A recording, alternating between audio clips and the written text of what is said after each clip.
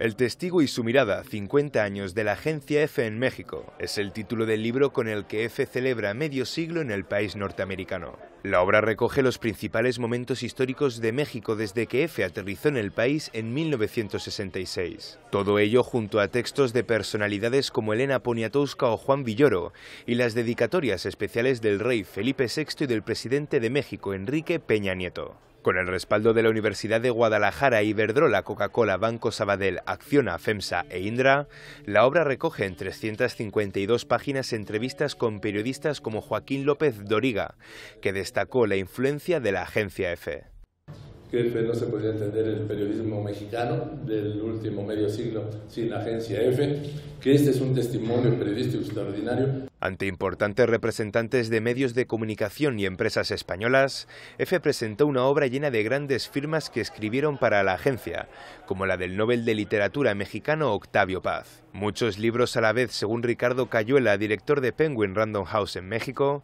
con una cuidada selección fotográfica de momentos históricos y estéticos.